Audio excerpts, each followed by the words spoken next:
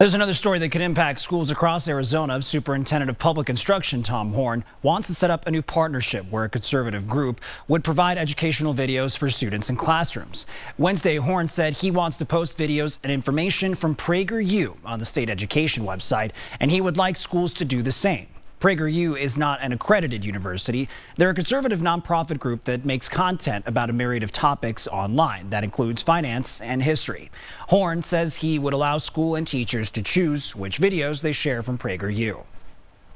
We give schools and teachers options so they can pick and choose what they want to use. And so I'm, I'm very happy to be contributing to that. But Horne's endorsement has drawn criticism from some lawmakers and educational advocacy groups. They say PragerU pushes a specific political ideology.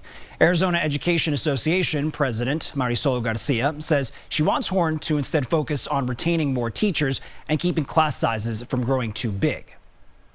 This is the complete opposite of why we have, uh, you know, the common good of, of public education. We don't need politicians involved in instruction. Some lawmakers already took to social media saying they disagree with Horne's endorsement of the program. Representative Raul Grijalva wrote this on X, saying, quote, PragerU does not belong in Arizona schools. It is masquerading as a serious educational resource when in reality it is unaccredited right-wing propaganda, end quote.